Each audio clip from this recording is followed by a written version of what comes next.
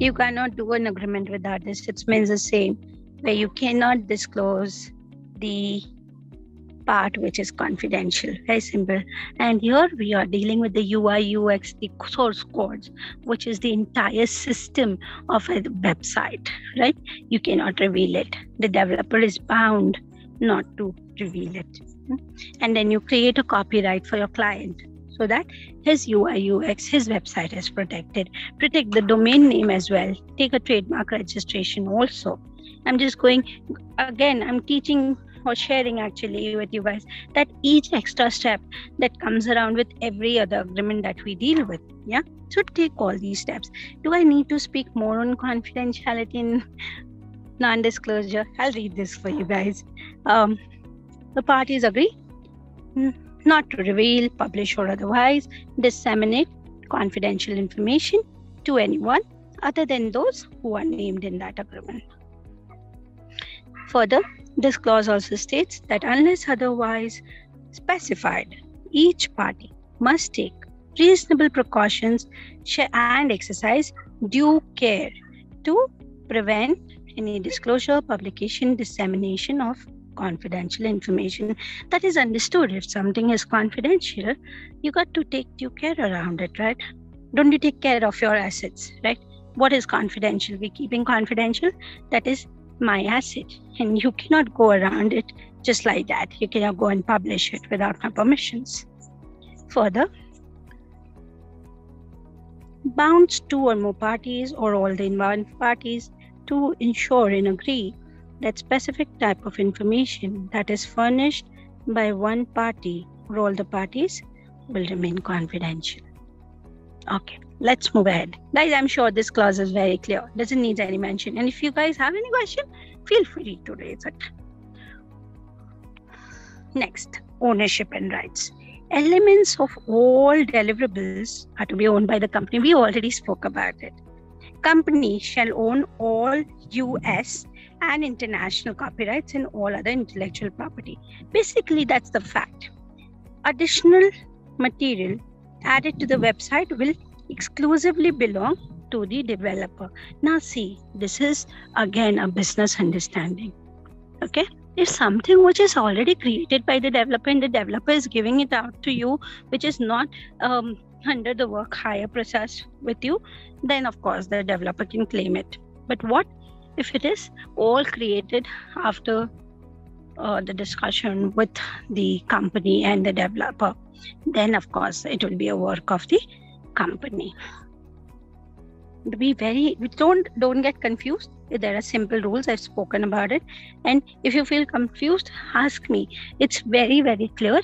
If i give you the work to create something you i will have the right and if you have already created something and you're offering it to me while i'm in you know you're doing a job for me of course you have already created it. You have your ideas and thoughts behind it.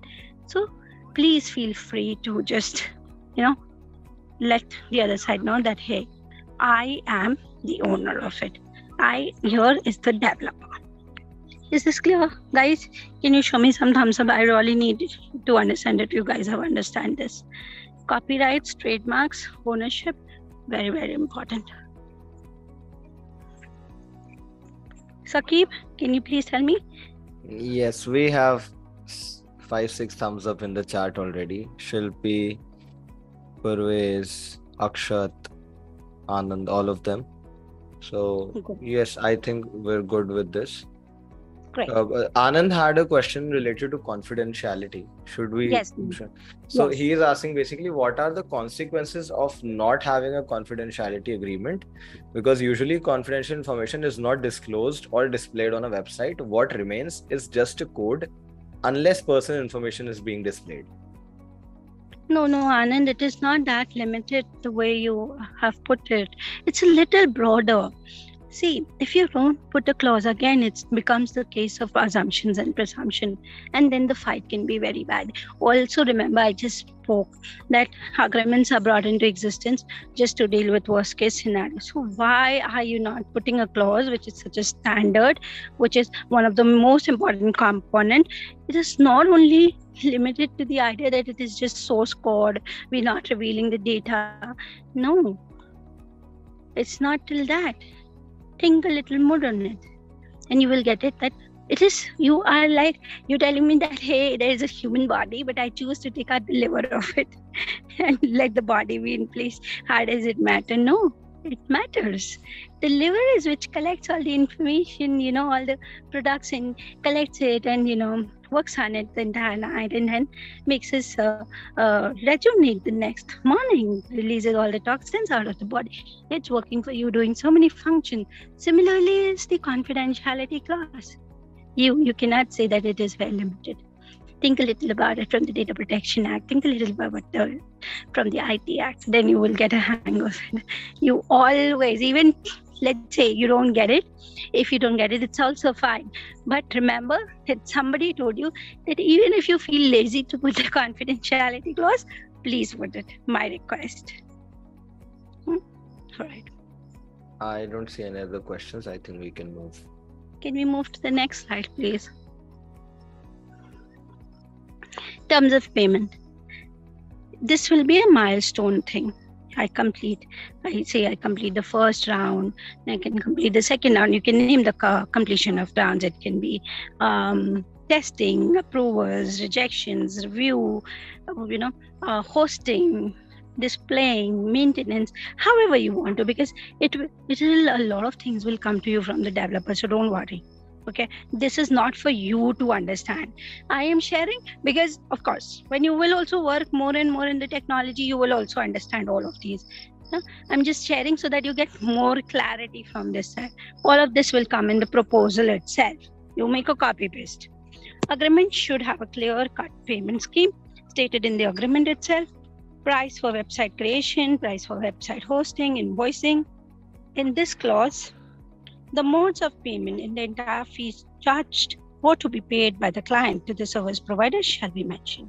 Very simple clause. Guys, put everything. Don't miss out on anything. If there is an advance payment, if there is a collective payment, if there is, uh, you know, payment uh, based on performance, if there is a delay in the services provided, put everything. How your invoice will go, in how many days it should be paid. If there is an error, how many days it needs to be notified. Once it is notified, in how many days are they going to review and send you a new one? If they send you a new one, how many days then that, that is going to be paid. Okay. So all of these should be put very clear cut. Now you must be thinking, why you need to put your head? You don't put your head. Go and tell the finance department, ask your client to give you that model. They will give it and draft the clause accordingly that's how it is supposed to be. You're not supposed to do the work of the finance the marketing and the operation. Ask all right when you ask for it they will send you and then you just need to draft clauses around it. Yeah just telling you again. So that you know what's happening from where, what kind of information you can ask from which one. If they don't have separate, also the client who's representing you is coming to you, talking to you, you tell them they're going to source the information. They might be the holder of that information and share it with you. Yeah, makes sense? All right. Should we move to the next slide? IPR, I spoke about it at the very beginning website development means you are developing what? Your website. What is your website? Your website is your entire business right? Your entire display. You are being represented in the form of the website. So you will have to protect it. How do you protect it? By protecting the ipr okay? And how do you protect the ipr by protecting the trademark registering the trademark registering the copyrights do you understand? So copyrights, UI, UX has to be done. Before you end with your agreement with the website developer, you make sure that you ask him for the UI, UX and get the thing on a CD, which is required to um, get a copyright done. Know, if you ever done a copyright, you guys might be knowing it. Okay.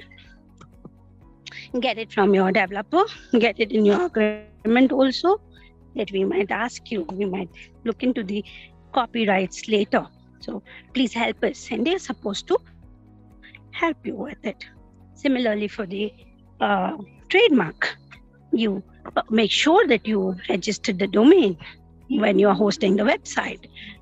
That will give a lot of um, security and protection to your particular uh, website. Very important, guys. I have dealt with these issues of i told you in the very beginning that it was challenge dealing with the website development part. And i think i yes i learned about the copyright. I learned about the domain to what does it say?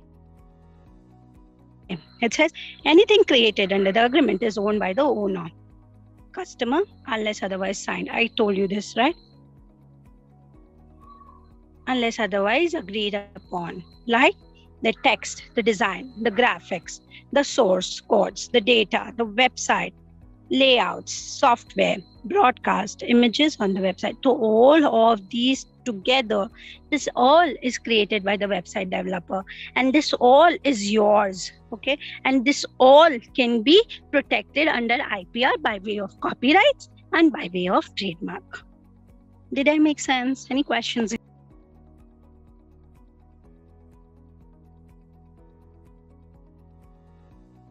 Um, I don't see any questions in the chat as of now, Yeah. so I would say.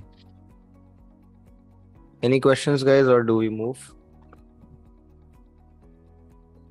Is it going smooth for you guys? You guys are catching up with me?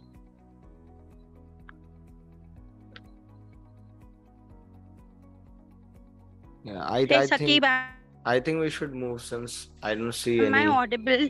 Yes, you are. We're we're losing you a bit sometimes, but it's nothing that we can't get context or something.